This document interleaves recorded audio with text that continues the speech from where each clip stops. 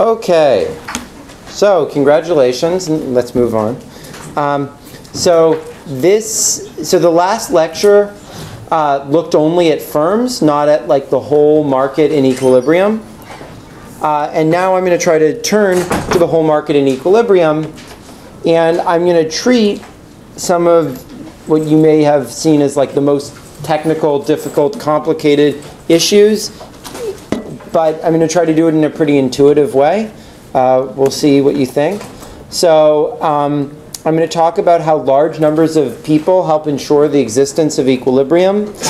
I'm going to try to link comparative statics to uniqueness and stability of equilibrium. I'm going to talk about income effects and why they're not that important for most of the problems that we solve. Um, uh, and that will show that equilibrium is actually quite a lot like individual maximization, and I'll talk about that. And then uh, I'll use this to establish some principles of tax incidence. Um, and I'll tie together the incidence of many different types of economic regulation uh, intervention to the incidence of taxes.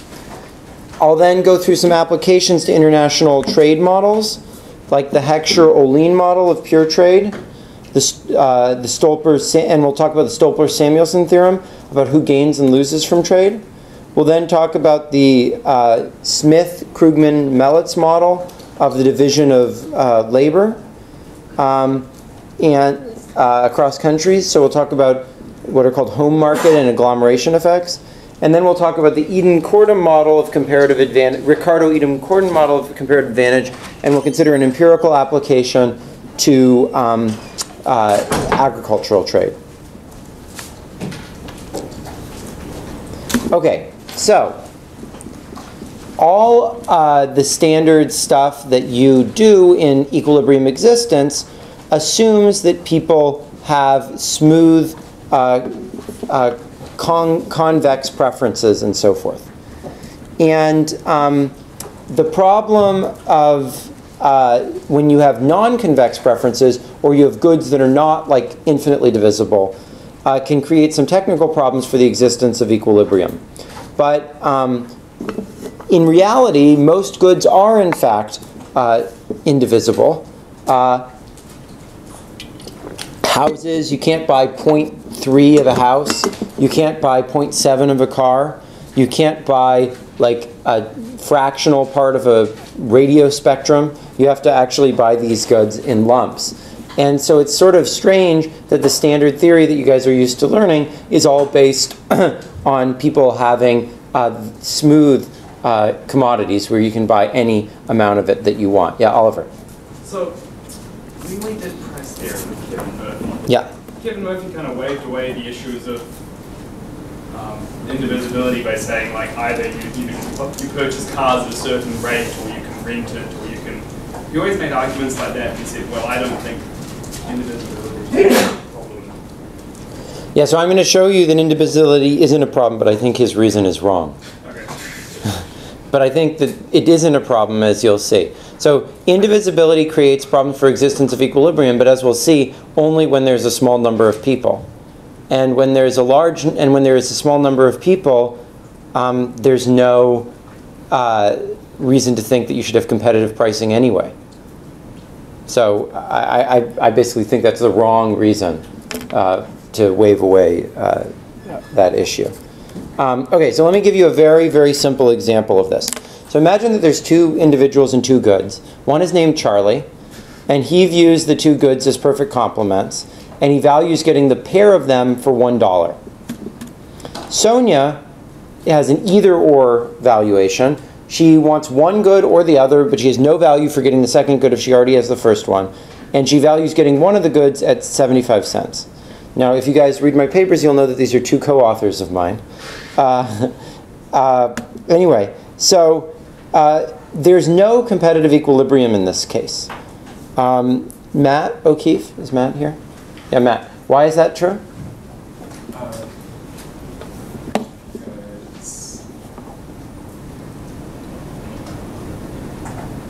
Try out different prices. See if you can find one that would be a competitive equilibrium and see. So what a competitive equilibrium is, is that there's some prices and people can buy and sell freely at those prices. uh, and there should be some demand that clears the market at those prices.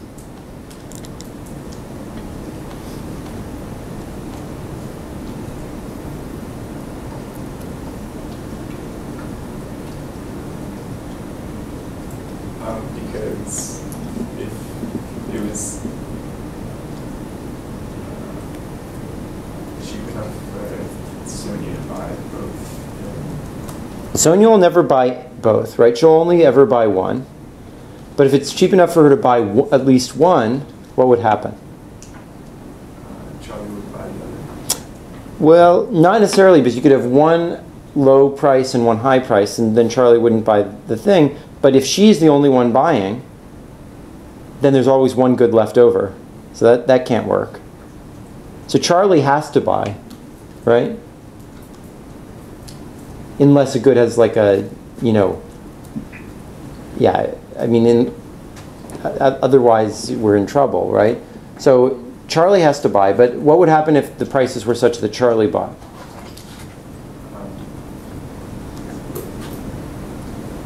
Sonia would buy them as well. Yeah, because it has to be less than one dollar in total, which means that at least one of the goods has to be less than 0.5, which is less than 0.75, right? So Sonia would always buy in any case when Charlie buys. But if Sonia buys, then there's excess demand for at least one good, right? Good. Um, okay, so the only efficient allocation is that Charlie gets both of the goods and Sonia gets neither, right? The reason is that um, Charlie gets less total utility, gets more total utility than Sonia does, and you can't satisfy them both, right? So that's the only efficient allocation. We know that markets have to be efficient, but that's not an equilibrium for the reasons we just said, right? Now, the key problem here is that there's only two people. Uh, sorry, imagine that we started with only two people and we didn't have competitive equilibrium. I mean, with two people, there's not a it's not competitive. Everyone knows they have an impact on price, right? And two people just like bargaining with each other could easily figure this out, right? If Charlie had both, he wouldn't be willing to sell them unless Sonia gave him either of them, unless Sonia gave him at least one dollar, which he wouldn't be willing to do. And if Sonia had them, she would offer Charlie the pair of them for one dollar, right? So that's a monopoly model, right? That's not a competitive model, which is really the right thing to think about when there's only two people. But let's try to think about what would happen if we had an economy that was like this, but with lots of people, right? So imagine that there was like a bunch of people that were half of the population that were Charlie's, and there were half of the population that were like Sonia's. And there was enough of the goods to satisfy um, all of the Charlies, uh, or to double satisfy all of the Sonias, right? That, that's the corresponding situation with large numbers of people, right? So then, Moonsu, can you see a equilibrium?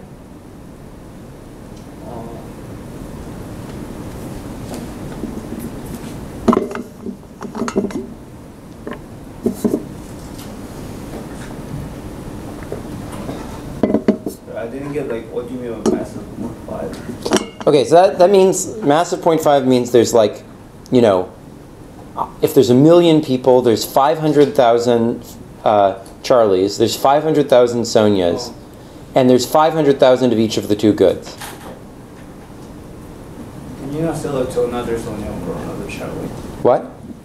If you're a Charlie, then can you not sell to all? You could sell it to anyone. It's a competitive market with lots of people. The question is, what would be an equilibrium here?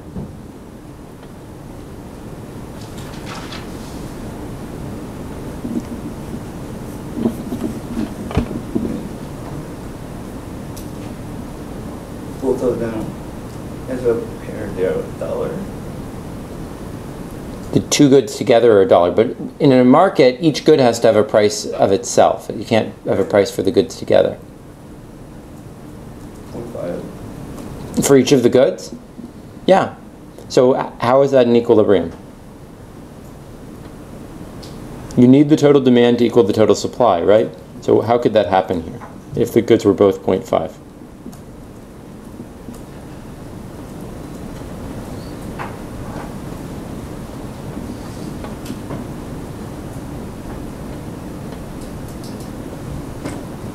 Anyone else?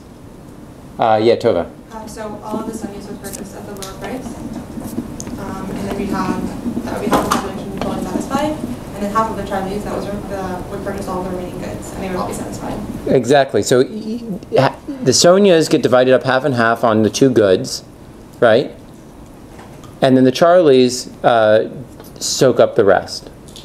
Okay, so why does that make sense? Well, I mean, think about it. The Sonias sort of on average value the goods at 75 cents each, whereas Charlie's on average only value it half, uh, at 0.5 each, right? And that, um, you know, the way we think about things in price theory is all about these averages, right? And uh, the Sonias are indifferent between the two goods at prices of 0.5. And the Charlies uh, are indifferent between buying both of the two goods and buying none of them at those prices. So as long as they, you know, some of them do one thing, some of them do the other, you can exactly satisfy the thing. So the problem when there was only one individuals is that you couldn't have them half do one thing and half do the other. So Oliver, now do you see why it's really large numbers of people that's the right way to deal with these non-convexities, not large number, not individuals doing a little bit of it. Um, so, uh, is Arvid here? No, I guess not. Um, so the problem is that in a finite economy, the aggregate demand could be 1 0 if Sonia buys one and Charlie doesn't buy uh, anything, or it could be 0 1 if Charlie, Sonia buys the other one, or 2 1 if Sonia buys one, or 2 1 2 if Sonia buys the other. So what does that give us? If, if we draw this out in this space, so here's the aggregate supply. It's 1 1. And we could have something here, something here, something here, or something here, but we can't have the actual point. But the actual point is in between these. And if price is 0.5, 0.5, the aggregate demand is all four of these points. It could be any of those things. So the aggregate supply lies between the aggregate demands, but it's not actually the aggregate demand. Right? Um, as a result, Sorry, what are your coordinates denoted there? uh, how much it's x and y like how much demand is for the first good how much demand is for the second good. So therefore aggregate uh, supply lies in the convex hull of aggregate demand but it doesn't actually equal the aggregate demand. So having more people convexifies things right? As we start to have more people like rather than just being able to get one of these things we could get the things that are like halfway in between or you know right there. We can get different things and suddenly this whole thing starts getting filled in. We could have any any of those points and then there's no problem. So the only problems that can arise is the failure of the aggregate um, demand to lo- to have all the stuff that's in between it filled in right? Do we, yeah Zafan. uh, do we need like even number of people? Even number? Uh, so if, if there's odd numbers of people, oh no, what's your name? You're not Zafan. Albert. Albert, Albert, sorry. You're Zafan. um, so uh, you, if you have even numbers of people, you exactly clear the market. If you have odd numbers of people, you clear it minus one. So the fraction of, like the, as a fraction, the problem is very, very small. So that's what happens. Does that make sense? Um, okay, so this basic idea works um, even in a large finite economy. If there's an even number, it's perfectly cleared. If there's an odd number, then you clear by one person. So the amount that you fail to clear is like related to the number of goods, not the number of people. So if you get a large number of people, you'll come very close to clearing the market. So um, I I would say that you know the thing that's like a equilibrium here is that the prices are the large market prices and the efficient allocation. I think that's like close to being an equilibrium. And you know, the more people that there are, the more reasonable the price taking assumption is, the closer it will be to being an actual equilibrium. So this is a very simple example, but it teaches some broader lessons. That first of all, having large number of peoples or people or having people be heterogeneous can convexify things and get rid of these weird uh, behaviors. So in most settings, if you have a problem with equilibrium existing, there's a way to add some noise that makes uh, things exist. And that's true in game theory as well as general equilibrium theory. Second, um, in general equilibrium theory, we always have large numbers of people if it's anything sensible, right? It's just crazy to think of a competitive economy without large numbers of people. And anytime there are large numbers of people, equilibrium always exists. Yeah, Oliver. What if you think you have a competitive economy in the sense of, say, Bertrand? Mm-hmm. Word? Where, where, where people just undercut each other down to pricing. Yeah, so I mean, I think that's a great example of like the, you know, Bertrand assumes that people have know exactly each other's uh, cost. If you have uncertainty about that, everything will get smoothed out. So in, in these game theoretic contexts that lead to perfect competition, again, putting in some uncertainty or heterogeneity or these realistic features will smooth things out. Um, okay, so if uh, the real, if it's really an issue that there's a small number of people, you probably want to think about an oligopoly model rather than a perfectly competitive model. And if equilibrium fails to exist, you've probably written the model down wrong. It's not that like equilibrium doesn't exist. Oh, this is a crazy situation, which is a conclusion that a lot of people draw. No, it's just that like you haven't thought about what the situation you're modeling is correctly. Um, so equilibrium non-existence is not really a problem. The problem is you, the modeler, writing the model down wrong.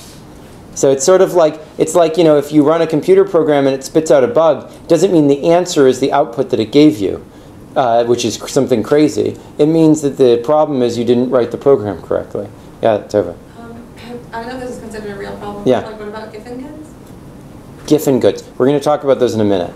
So, um, in the worst case, uh, you can always change the notion of equilibrium to something like this approximate equilibrium, which, you know, maybe what you were trying to do in the model was really say, well, if we had an economy that was, you know, bigger or something, so you can always find some notion that's like that. And so the, the, the broader point is don't be a slave to definitions and formalism, and when a model spits out uh, impossibility or non-existence or whatever, you, you shouldn't conclude, oh, everything goes to crap in this situation.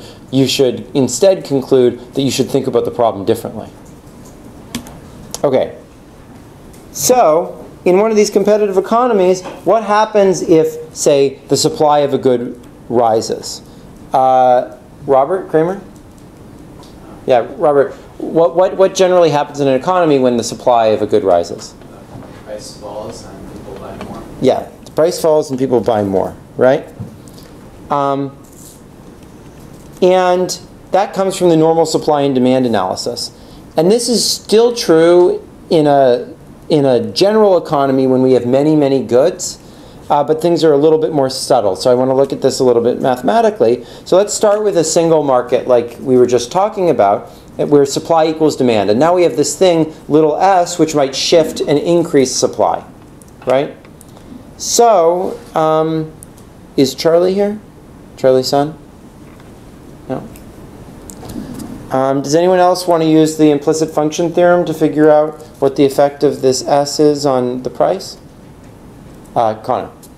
Um, so it should be, uh, you just like do the chain rule, um, to each one of those. Yep. So, um, you just take the derivative with respect to s on both sides. So what do you get? So you'll get one plus s prime p times dp ds. Yeah. Equals d prime p times dp ds. And- you subtract s. A- And what is what do you get in the end? Um, Try doing it on your paper. or You can do it on the board if you prefer. um, you should get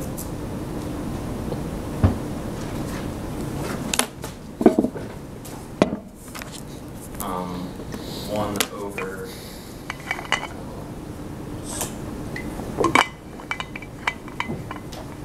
one over d prime p minus s prime. Yes, exactly. So we said that when S goes up, the price should fall, right? So that's going to happen if D prime minus S prime is negative. Now, usually we assume that D prime is negative, the demand slopes down, and S prime is positive, so the demand slopes up, so that immediately implies this. But notice that we don't need that. All we need is that demand cuts supply from below sorry, from, from above to below.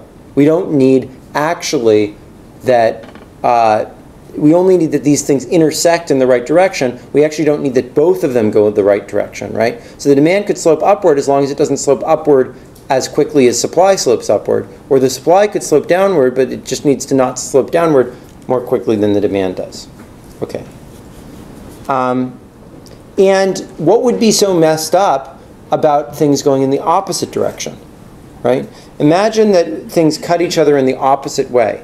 Well, that would say, imagine the price were to rise a little bit above the equilibrium, then demand would actually get more large relative to supply at a higher price. And that would lead the price to go up even more, and more and more and more, and it would get out of control, right? And vice versa if the price fell a little bit below. So that means that that would be an unstable equilibrium, right? So it's not the key issue that drives these basic conclusions we reach is not that demand goes down and supply goes up. It's rather that the equilibrium is stable, that it cuts in the right way. And um, the, the nicest way to formalize this is in terms of an excess demand function. That's demand minus the supply.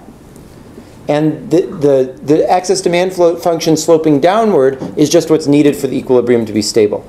So let me give you a picture of this. So let's let graph quantity as a function of price rather than price as a function of quantity. So even if supply is downward sloping, as long as it doesn't slope down as fast as demand does, then when supply increases, we get that the price falls like we want. But on the other hand, if the supply is sloping downward more quickly than the demand is, then when the supply increases, price actually rises.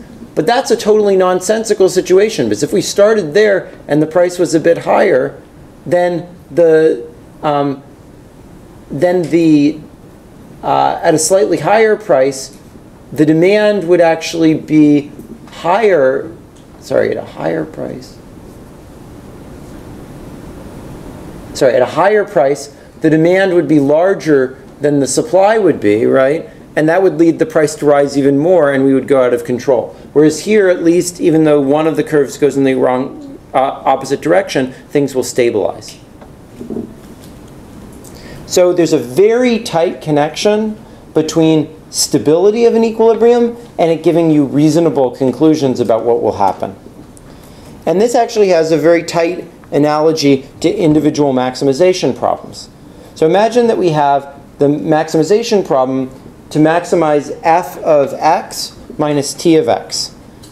Uh, now we know that um, x star has to fall when t increases in an individual maximization problem because otherwise clearly the person wouldn't be maximizing if when t increased they did more of uh, x right they could always have done uh, that before and now they're getting penalized more for doing it so what, what, there's no way that they would ever do that right so let's now try to derive this using calculus so we get that the first order condition is that f prime of x is equal to t. So what would um, dx, d, dx star dt be? Uh, does anyone want to derive that? Or sorry, is Adam's son here? No. Yeah. Go ahead, sing. Of the-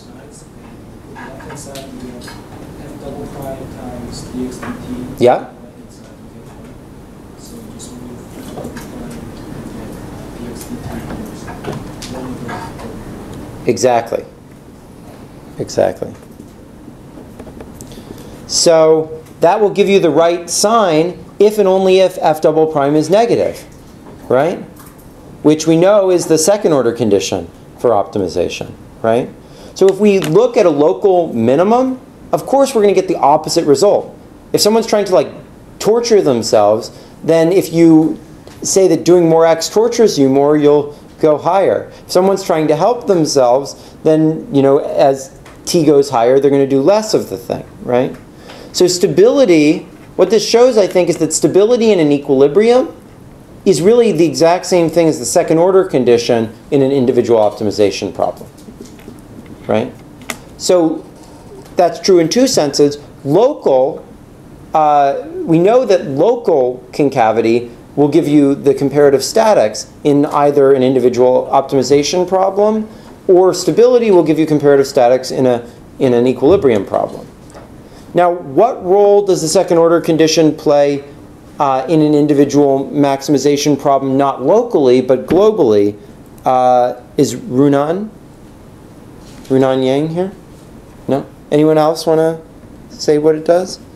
What does global second order conditions do for you uh, in, yeah, Tova? I mean, doesn't that just, uh, like guarantee existence of an equilibrium?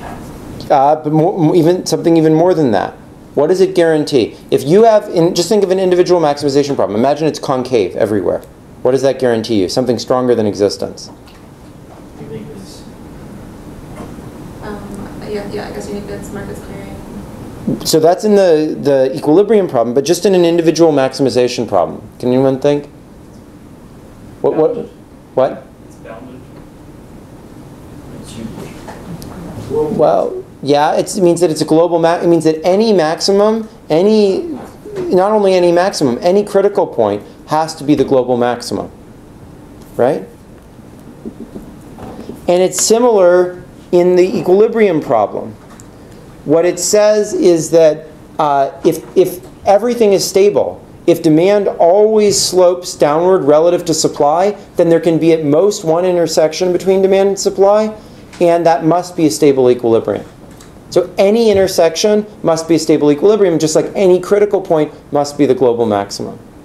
So stability uh, is globally equivalent to uniqueness, but not just uniqueness, good uniqueness, uniqueness of a stable equilibrium. Well, locally it's equivalent to comparative statics, and that's true in both the individual maximization and the uh, equilibrium problem. So more generally, you should always think of when, whenever you think of stability in a market, you should always think of that as being just like second order conditions. And you should always, in the same way in an individual maximization problem, you check the second order conditions, you should check for the stability of the equilibrium. Okay. So these principles are called the correspondence principle.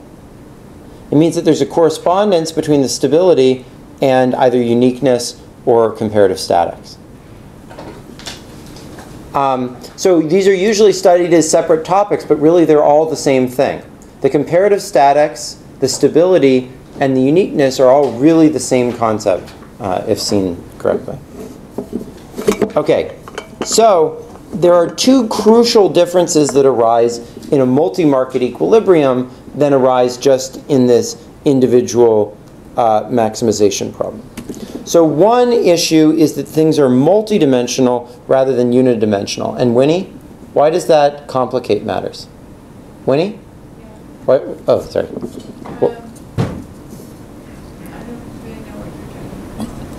So why? So we just talked about stability and how that's related to comparative statics, and we talked about it in a one-dimensional problem, right? What, what, how is that more complicated in a multidimensional problem? Really.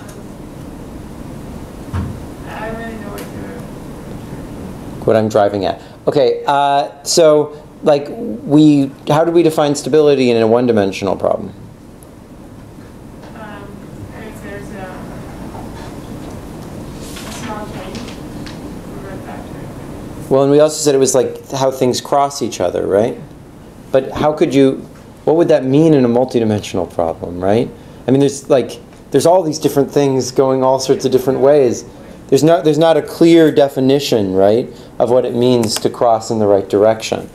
In, and in fact, you can use like some linear algebra thing, right? And you could say, well, there's like negative definiteness or something in an individual maximization problem right? So that, that was, that's sort of the natural way to think about extending it. But there's another problem that we run into with that, which is income effects. So uh, Tyler, yeah, you're Tyler, sorry. Tyler, how, how would income effects complicate us trying to use the notion of negative definiteness? Um, I guess there, there are more variables to um, take into account how they, well, there is an income effect that's affecting more variables, so you don't know how they're interacting with each other. Yeah, so the the key problem is okay, so negative definiteness means that it only applies really for when we have a matrix that's symmetric. Any Hessian matrix, right, is symmetric about its diagonal. And nev- negative definiteness is only defined for symmetric matrices. So there's actually not even a notion of that when you have income effects. Because when you have no income effects, the excess demand functions have a, have a symmetric Slutsky matrix, right? Because, uh, because that's sl- what Slutsky symmetry tells us, right? But without, with income effects, that's not true. That matrix isn't symmetric, right? Of the, the gradient of the excess demands. And therefore, there's not even a natural notion of negative definiteness. Okay. So, much of the art of figuring out, and in fact, why all this stuff seems so complicated when you learn it in general equilibrium theory, is that the fact that this matrix is not symmetric, and like how do you extend the notion of stability? You can't just use negative definiteness the same way that we use these things crossing in the right direction uh, before, right? So there's two alternative approaches. One is mathematical, which I describe in the note that you guys had to read for class. But the second is, is conceptual, and I think this is the more elegant one, and this is something I'm working on right now, which is to try to collapse things back to one dimension. So in particular, imagine that we think of the excess demand in a market as a function of that individual price, not all of the prices at once. So how could we do that? Imagine that we have a single market as a function of just the price for that individual good. And then the way we make everything else work is we force all the other markets to clear instantaneously, given uh, that the price for that good is that value. Right? We hold that good's price fixed at that value, and then we let all the other markets clear given that. So that will give us some excess demand for this good, given that all the other markets clear. Right? That will give an excess demand for this good as a function of just that good's price. Set that price, let all the other markets clear, tell me what the excess demand is for this good, right? And then you can look at that's a one dimensional graph, you can look at whether that is decreasing or not, whether that is crossing in the right direction. And that is exactly uh, stability. If that's true for all the goods, and you have all those crossings working the right way, th- that is the right notion of stability. Yeah. Sorry, what's your name? Donnie? Donnie. And why is it reasonable to hold one constant? I mean, since they're all interacting with each other, you think that they have some. Well, because you check all of them at the. So if you check all of them, that sort of corresponds to the most robust notion of stability. Because basically what you're saying is, imagine this one is really, really slow to clear. So you're sort of holding it fixed. And all the other ones are really fast. And then this one is really slow, and all the other ones are fast. So you're checking all the different ways in which the market could potentially be unstable. That's basically the, the idea. Uh, remind me of your name. What? Jose. Jose. So how does this relate to Walras law? To what? Walras. Oh, Walrasian. So uh, this is all Walrasian equilibrium, but you mean the Walrasian auctioneer? No, no, no. That you have n minus one markets clearing, then these markets. Because this market is not actually being. Uh,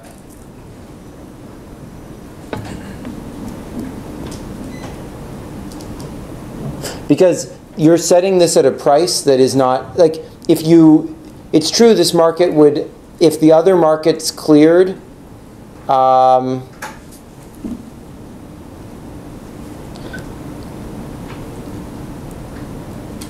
that's a good question. Um, um,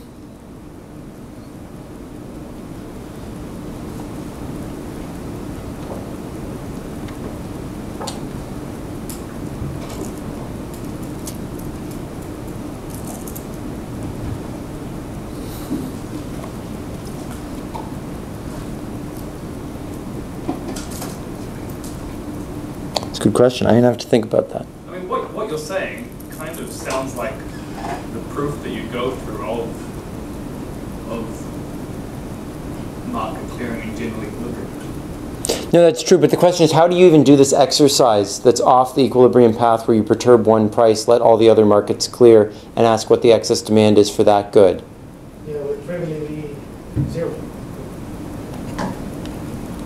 It seems like that's true, but I, there's got to be something not true about that. I'm not quite sure what it is.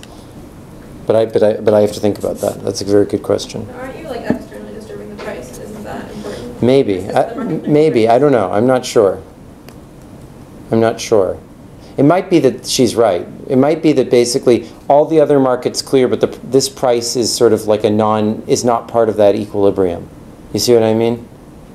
Like this, this price is being artificially held somewhere else, and then all the other markets are clearing. But yeah, it seems like Walras's law should imply that if all the other markets should clear too.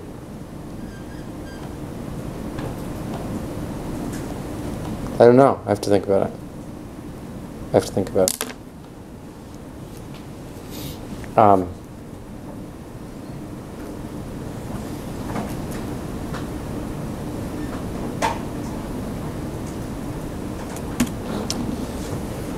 anyway, so uh, the um, this is all useful not just for general equilibrium theory, but also for game theory. Um, and uh, the reason is that game theory is really just a system of equilibrium equations as well.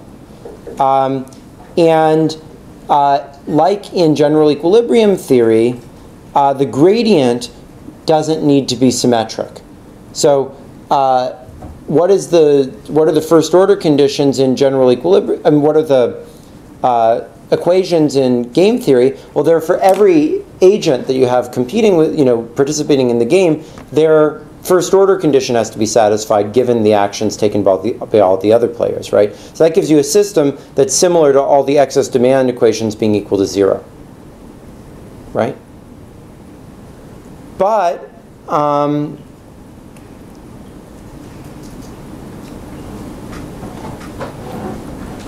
So Jose, I think the answer to your question is the following. Um, the really what you're doing when you're like making that price different is you're like introducing some extra good into the economy that's held by somebody, and you have to account for that income effect of putting that extra good into the economy. Uh, and you have to ask what would it be that would sustain a price that was different than what would be consistent with Walras's law. So you have, I mean, so that's not Im- important when you have, like, when the income effects are, so like, th- th- that's what it's basically corresponding to. It's saying, if I were to introduce a bit of extra good into the economy, uh, distributed in some way, that um, caused the price to be uh, higher so that you could, you know, still be, be consistent, then what, what would the amount of that good that would have to be introduced look like? That, that's like the, the relevant function. I think that's true. I'm not, I'm not, I'm not 100% sure, but I think that's what's going on. So the, the gradient, uh, when you have all those first, like those stacked first order conditions being equal to zero, if that was an individual optimization problem, the gradient of that would have to be symmetric. But of course, with a bunch of different people's uh, first order conditions, there's no reason why like the derivatives of those first order conditions with respect to everybody's actions have to be symmetric, right? And so all the same issues that come up from non-symmetric uh, uh, gradients of the equilibrium conditions show up in uh, in game theory just as much as they show up in general equilibrium theory.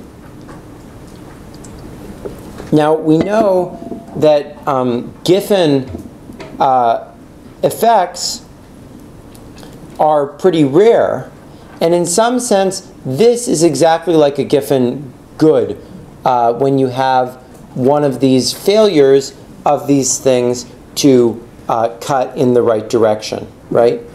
And so, in fact, all these instabilities are really generalized versions of some sort of a Giffen effect, right? Because if the excess demand slopes in the wrong direction, that's basically like a Giffen effect. If we have one of these more broad things, something slicing in the wrong direction, it's sort of a generalized version of a Giffen effect. So all of these um, instabilities are basically forms of Giffen goods. And those we know can only occur when income effects are very strong. Right? Yeah, Tova. Yeah, okay. So if we think of a one-dimensional economy and we have an excess demand function that goes the wrong direction, that's basically a Giffen effect, right? Now, if we think about a, one of these broader economies where there's no simple notion of things slicing and we just need one of these, um, we need uh, instabilities occur if one of these like markets looping back to itself is basically Giffen-like, right? Um, then uh, that corresponds uh, that corresponds to some broader notion of, of, a, of a Giffen good. So I, I just keep coming back to Jose's question. It's a very good question. So I think that actually what's going on here is that you always need to remove one market from the analysis when you're doing the thing that I was saying. I think that, like, th- let's think about the one good case. If we have a market and we just, uh, you know, one, if there's only one good in the economy, the market always clears, right? Because whatever the price is, it's paid back to itself and so forth. That's Walras's law, right? You need to have at least two goods for there to be an economy. So you always need to like hold one good fixed to even begin doing this analysis, and then you need to construct my excess demand functions. Because in a one, because like when I was doing the supply and demand thing, there was always a, a, a numeraire good that was allowing us to even construct the supply and demand graphs, right? So uh, when you have, it's only really when you have two goods that you can then ask whether things cross in the right direction. So really, you need to like hold always one good fixed by fixed by Walras's law, and then you need to do this loop looping back thing that I was talking about before. Because otherwise, there's just no way to even construct those curves. Because in a one good economy, it's all by Walras's law. Everything always needs to clear at any price. In other words, you basically have to normalize the price of one good, right? Because Walras's law is just is going to be trivial otherwise, right? So once one good's price is normalized, then that no longer holds, and you can you can do this sort of an exercise. Okay, sorry. And, and back to your question, Tova. So what um, what's going on is that uh, in a one good economy, um, there's this um, sloping wrong the excess demand, or really a two good economy by Jose's argument, sloping the wrong way is a, is a Giffen effect. In these more general economies, there's all sorts of Giffen-like things that can occur, which correspond to different types of demand functions sloping in directions that they shouldn't be sloping in, basically. And so, just as in the one good economy, uh, sloping the wrong direction is a Giffen-like behavior that we shouldn't expect to occur very often. Similarly, all these instabilities are things we shouldn't expect to occur very often in these broader economies. How does that work in game theory? Uh, in game theory, so I, I'm just talking about general equilibrium theory right now. And the point that I was going to make is that actually these issues are more relevant in game theory because there's just like good reasons why we think Giffen type like behavior doesn't happen at all in demand theory, whereas in game theory it, it may well happen. There's all sorts of reasons why we should believe it would happen. Whereas there's just de- pure demand-based reasons why we shouldn't think Giffen behavior should happen. In particular, it requires very, very large income effects that we that we don't think are realistic. So why are they not that realistic? Well, the reason is that most markets that we consider represent a small part of people's income, right? Why is that?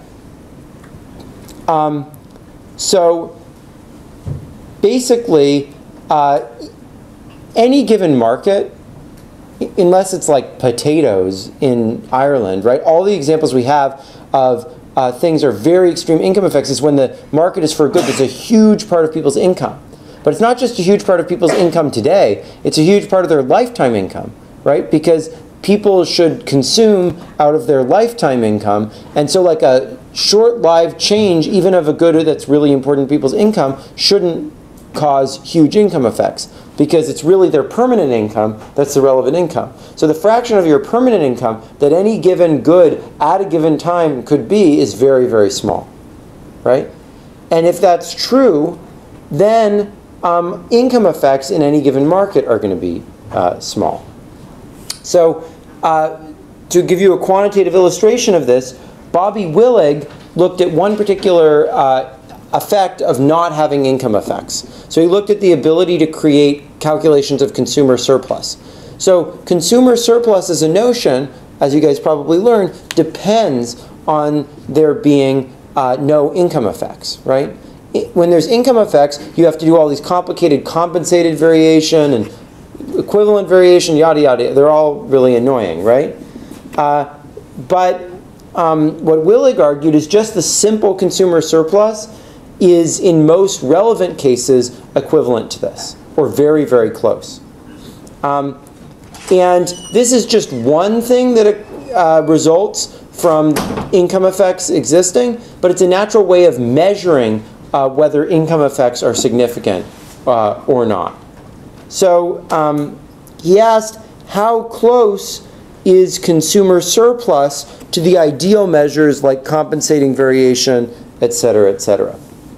So let's let A be the calculation of standard consumer surplus from some price change, and let's let I be the lifetime in- in- income of an individual, and let's let eta be the largest income elasticity of any good, uh, uh, sorry, of this good over the range where the price changes. And what he showed is that the error that you get um, is from uh, approximating things using the standard consumer surplus formula is less than that income elasticity multiplied by the standard consumer surplus calculation divided by twice uh, the person's lifetime income. So imagine that the income elasticity is less than 3 in absolute value, which is a very large income elasticity, right? And that um, the uh, ratio of the consumer surplus change standardly calculated to the lifetime income is less than 1%, then the relative error that you're going to get is less than 1.5%. So what does that say? Even if the change that you're considering is 1% of people's lifetime income, the error is still going to be tiny in relative terms, much smaller than statistical error. Yeah, Oliver. But surely, if we think that, you know, the relevant areas we can think of Giffen goods of people like that, like you said, the Irish potato Yeah. or something like that, surely that's an instance where, you know, people are credit constrained and their lifetime income isn't the relevant, um, relevant thing to think about, it's their income here and now. Well, but then I think the right model is a model not with income effects, with no income effects, but with credit constraints. You know what I mean? So it's it's not really an income effects type model. You should calculate the consumer surplus, and with credit constraints, there's a very simple way to compute the loss in consumer surplus. It's basically like the loss that you get from not being able to borrow, right? So that, that's a very different model actually than one where income effects are actually relevant. It's one where credit constraints are relevant, and credit you can have lots of credit constrained models with just quasi-linear utility, no income effects, but then with a credit constraint, and then there's like a value of relaxing that credit constraint, and that's totally different than an income effects model because it's not Pareto efficient. Because there would be, you know, all the income effects models are all Pareto efficient. Credit constraints are not Pareto efficient because there would be a Pareto gain by allowing that person to borrow. But, but you could imagine a world where you have both effects, right? And where the income effects suddenly become relevant when everyone's credit constraints bind. Well, I mean, there are there are weird demand effects coming from credit constraints, but it's not their lifetime income con, uh, constraint that's what is causing the weird effect. The weird Giffen-like behavior is being caused by the credit constraints that they're facing, not by the uh, lifetime income. Oh, well, yeah, constraint. I'm saying is that once you're credit constrained, you're not worried about lifetime income, you're about income. No, I, I agree, and so you could get a Giffen-like effect from that, but it, but like the right way to analyze it from a welfare perspective would not be to to do do cons- equivalent variation, whatever. It would be there would be a Pareto inefficiency from the fact that they were unable to borrow. Um, okay. So this is really tiny compared to measurement error in almost all relevant cases. And this is very related to Matt Rabin's observation. I don't know if anyone's ever read this paper. It's a nice paper that um, over small stakes, uh, people basically have to be risk neutral. That like risk aversion is only a phenomenon when you're like risking your whole life. It's not a phenomenon that should matter in any standard problem. So like for example, when you're like doing an auction or any anything that's just a small part of your life, you should never be risk averse. And that's why it's usually a very reasonable assumption, as long as you're assuming people are rational, to assume people are risk averse uh, in almost any standard micro problem. Tova? Sorry, you're saying risk aversion isn't reasonable to assume in small problems? Yeah. So what about insurance? Insurance is a big problem. It's, I mean, most insurance is like some huge fraction of your lifetime income, right? But, but, but interestingly, you would want to do that for the shock that you get in the insurance, but you wouldn't want to do that for the amount that you're paying for the insurance. Because the amount you pay for the insurance is almost certainly a small fraction of your lifetime income, even though the shock that you might get that you're getting insured against is. So this is this is the thing that's really important. You know, when you think about writing down a quasi-linear model, which is what we do all the time when we think about consumer surplus, you really need to think about is the relevant change that is occurring in the price or whatever it is that I'm analyzing something that's a large or a small fraction of someone's lifetime income. Getting cancer is a large fraction of your lifetime income. So in that insur- insuring yourself against cancer, you should consider that. But when you think about um, like the price of insurance and how that impacts your welfare, you shouldn't consider it.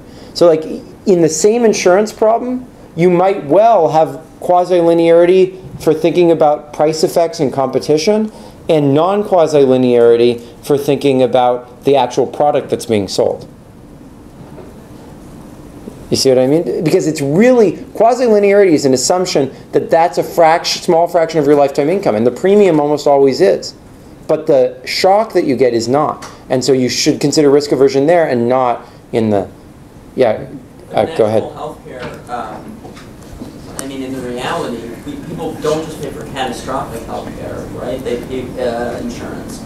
They also pay for just copay. I mean, for like all along the way. So that seems like I mean, it's not just risk aversion. I mean, you're paying for not Well- just catastrophic. catastrophic Yeah, and I, I think as we'll study when we do insurance, like that sort of stuff is often a way for like where risk of where basically you can disregard the gains that people get from the insurance there, and almost all of it is about transferring risk, like mean risk, from you to the company. So like it's really only the catastrophic stuff that offers a. I mean, of course, it's a spectrum, but yeah, that's the, the place that's really giving surplus rather than, yeah, yeah. Go ahead. Uh, you are. I'm trying to remember whether you're miles or you're miles, right? Yeah, yeah. Okay, good. So, going back to the, the income effects, doesn't that assume that people rationalize consumption smooth over their lifetime a whole lot more than they actually do?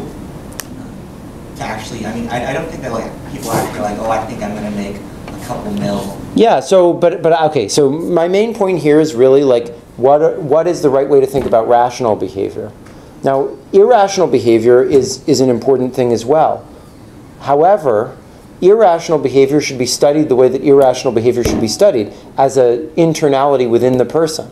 Just as we were talking about with credit constraints. If you study it using instead the perfectly rational model, you will get totally the wrong normative conclusions that relative to what you and they're totally different. Like you're going to get oh everything's Pareto efficient, and but you know we've got to take into account these complicated things. That's not how you should study it. The person is making a mistake, and you should try to correct that mistake. You shouldn't like say that's Pareto efficient and whatever. So like my point is that is actually by deconstructing what's actually going on in the rational model, you realize where you should be inserting irrationalities into the model. You know. Okay. Just, just as a question, Yeah. maybe like through experiment, be able to like quantify from like a range from which is risk neutrality vanishes to like like what? Yeah, so so Rabin has some nice calibrations on that. You should look at his paper. It's called Expected Utility Theory, a Calibration Theorem. It's a really nice paper. Okay, so let me just give you some calibrational examples of this. So Bob Lucas does these calculations, and he says that all business. Now, I don't really believe these calculations, but imagine that you believe them, and and this is what most macro models are based on, by the way. All business cycles throughout history, he claims, is are worth about 0.0047 of GDP, uh, half a percent of GDP. So that would say that the error by using consumer surplus rather than income effects in those models would be less than uh, less than one percent. So what that basically says is all the macro models you've ever studied, you know macro people are obsessed with always setting them up with income effects and not with quasi-linearity? That's just completely wrong. There's no need to like set them up that way. You can just set it up with quasi-linearity because basically like it, it makes no di- quantitative difference whatsoever in those models to set things up with an in, a budget constraint rather than and it's so much simpler to do everything with quasi-linearity, right? all those models are basically quasi-linear models, and you're just approximating them to some incredible, incredible degree of accuracy that's way beyond uh, all the other errors you're introducing into the models. Or, according to the Costinot et al. paper that we'll talk about a little bit later, all Ricardian trade, like all the Ricardian benefits from trade, are about 5% of world GDP. Now, Ricardian benefits are maybe not what we should be worrying about, but that, approximating that, not using any aggregate budget constraint, just using a pure quasi-linear model, which again, none of these international trade models ever do, because they're all like, oh, we've got to worry about the aggregate economy and general equilibrium effects and whatever. It, that only makes about an 8% error in the calculations you get from all gains from trade. Yeah, Arvid. Have you tried saying this like in a seminar? Like, Yeah, I say, like, because I was like. look, the point of this class you, I say all sorts of cra- if you come and watch me in a seminar, I say all sorts of crazy things that drive the speaker crazy. I'm trying to teach you how to say the crazy things that I say in seminar. yeah, of course. What, what is their reaction to that? That they just need to. Well, they usually they usually like, you know, don't pay attention until they get me as a referee.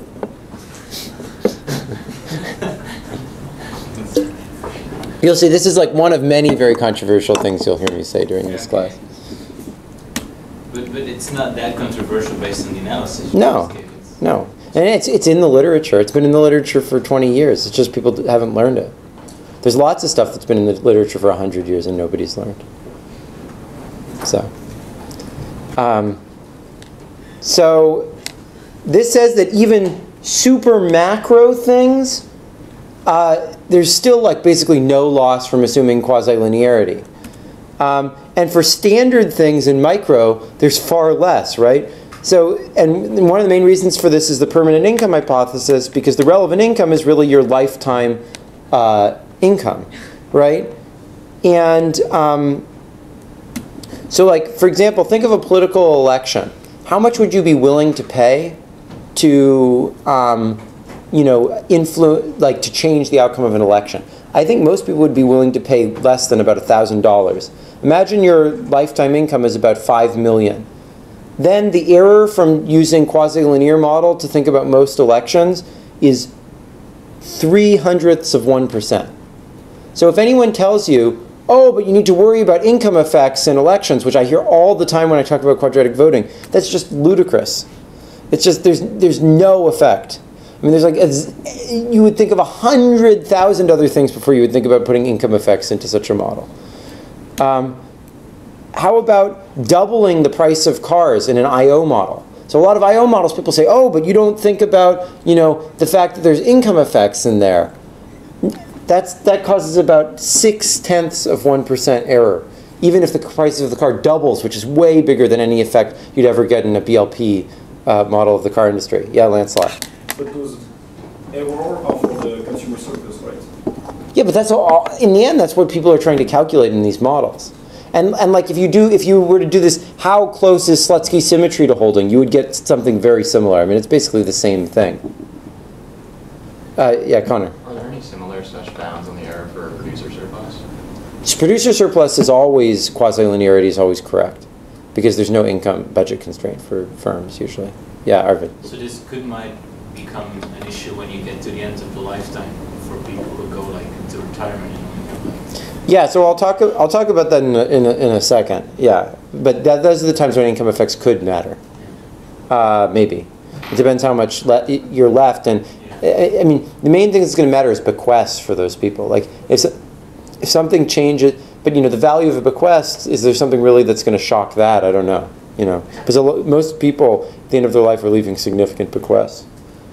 Um, eliminating all fees on investment over the course of people's lifetime, th- that that's, would give them about thirty thousand dollar gain. So that's an error of point of uh, one percent, basically. So if you're thinking about finance problems, there people think you really need risk aversion. Not really. I mean, for thinking about like the shocks to the investment, but not for thinking about uh, the prices that they're paying for those investment products. It makes almost no difference. The estate tax, even an estate tax, so like someone who left five million dollars maybe would pay an estate tax. I don't know, of five hundred thousand dollars. Even there, you only get a fifteen percent error. Now that there it's starting to matter a little bit, and there it might be getting closer to being first order. But the main big point is that for most things we're going to think about, quasi-linearity is really the right assumption. Now, the question is, where might income effects actually start to matter? Uh, what do you think, Jack? What are, what are some problems that we might study where you think income effects might actually start to matter? Anything that affects lifetime income, like human capital investment, uh, Mhm. that, that dramatically affects What sort of policy interventions might we study where, where that might matter? education.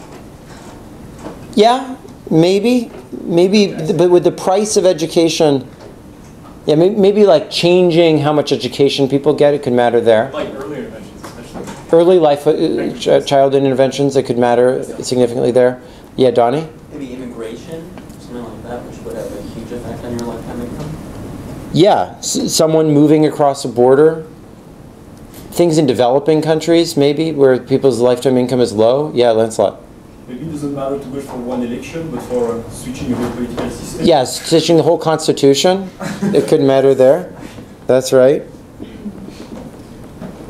Um, another, so some other examples are, you know, um, changes that are like really concentrated in people's lives, uh, lar- like changing the whole income tax system might make a big difference to people's lifetime incomes.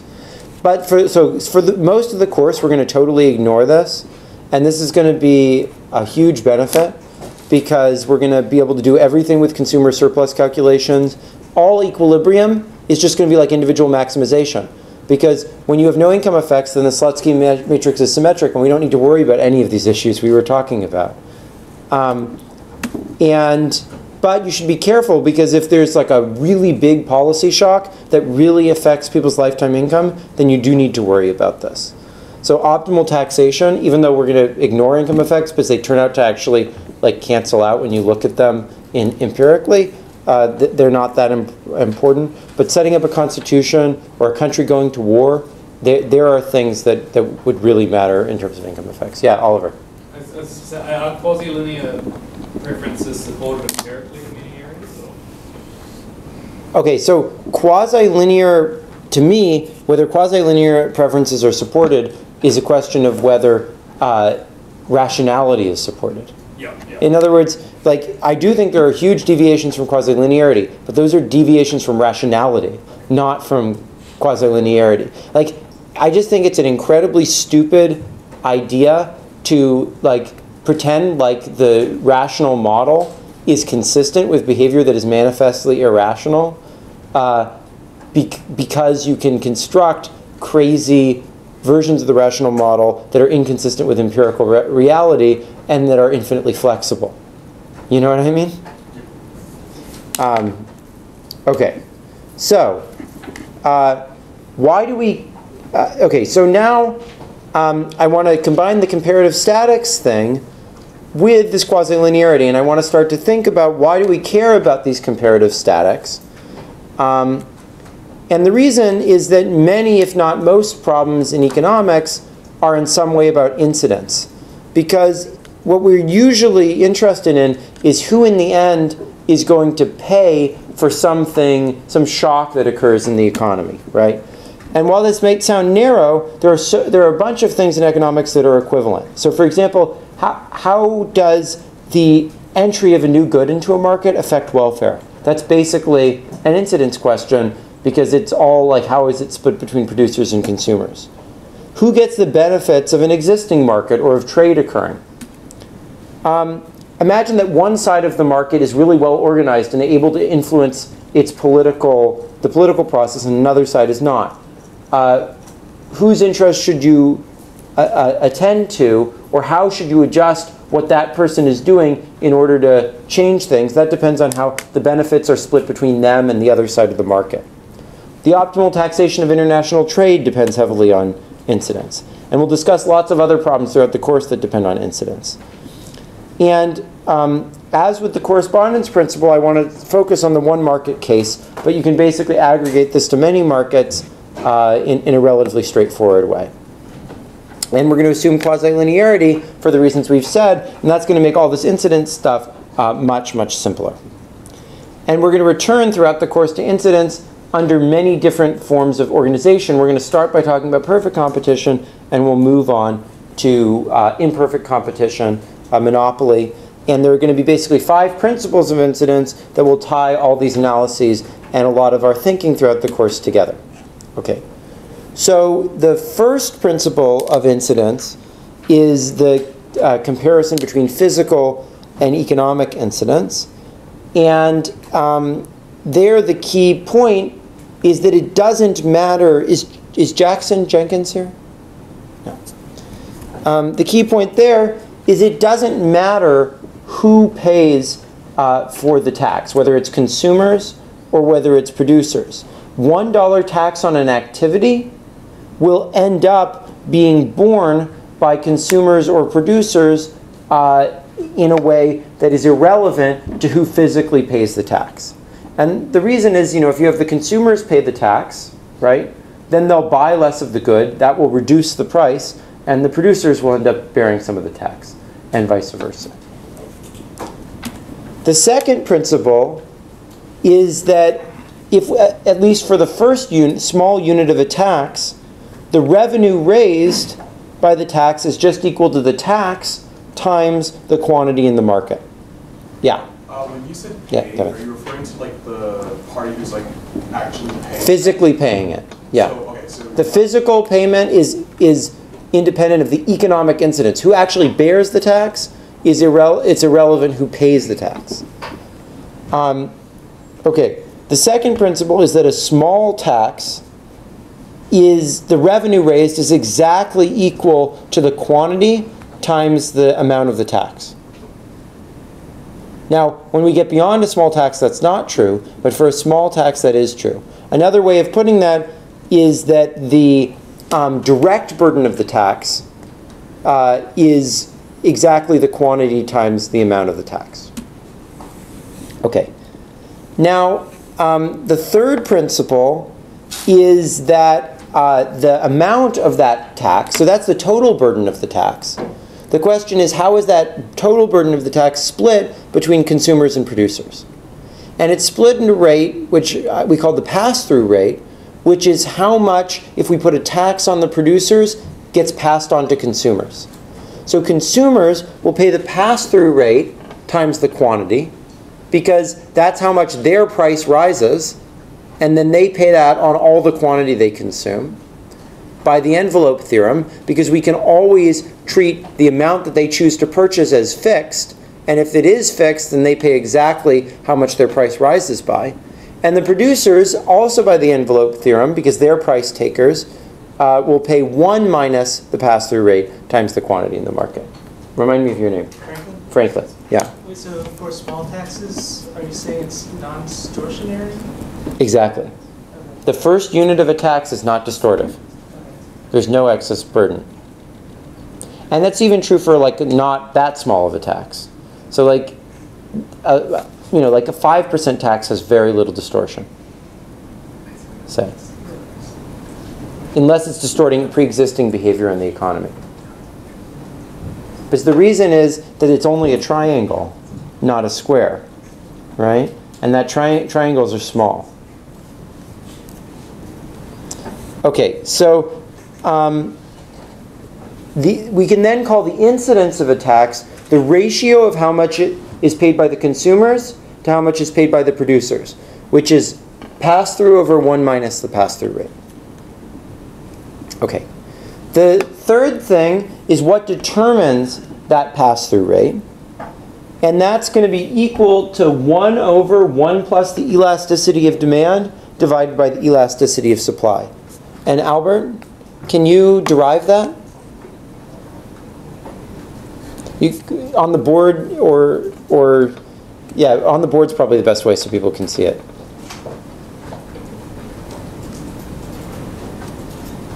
So we, ha- we derive it from this equation that the demand is equal to the supply of the price minus the tax, right? Because the supplier only gets that. So can you drive that? Maybe that's the best board over there. What do you want? Don't- look at the derivation as you do it. I, I want you to derive the why the pass-through rate. it- There's there's chalk over there, but why is the pass-through rate? That is how much the price increases when the tax increases. Um, why is that equal to one over one plus the ratio of elasticity of demand to the elasticity of supply? So B, B equals to S of P minus T.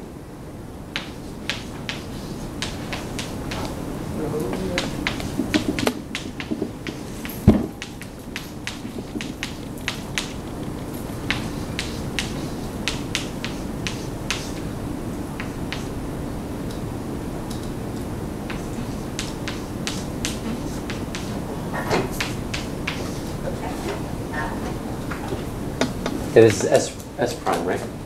yeah, sorry. Yeah.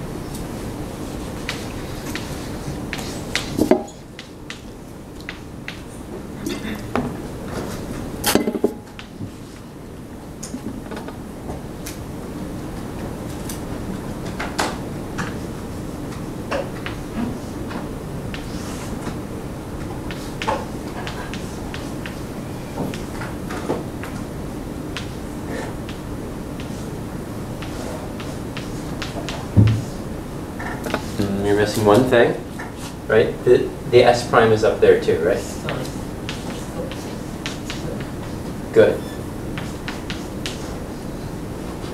So now, uh, how can you get 1 over 1 plus the elasticity of demand over the elasticity of supply? You? You want to get this formula up there. Oh.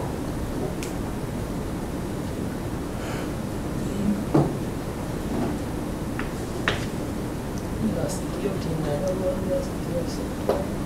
Price of cancel out. So.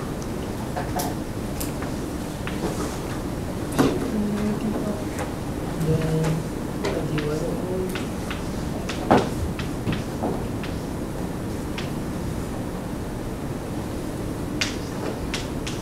by Exactly.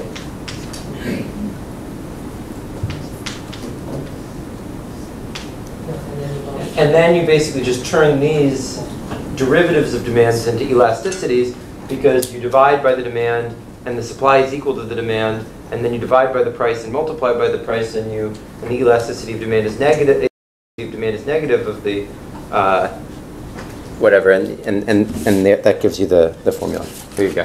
Thanks. Nicely done. um, okay, so here's the, that derivation.